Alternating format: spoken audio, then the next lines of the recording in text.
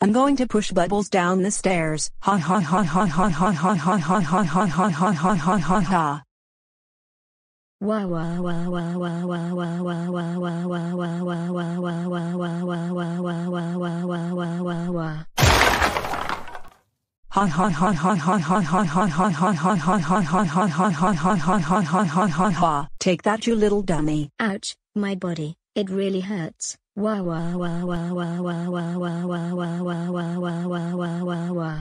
to watch some TV after doing a lot of work. Oh no, Bubbles, what happened, and why are you on the floor crying? Buttercup pushed me down the stairs, and now my body hurts. She did what? Oh my gosh, thank you so much for telling me. I will call Buttercup downstairs. Buttercup, get over here right now. Um, yes professor, what do you need from me? Buttercup,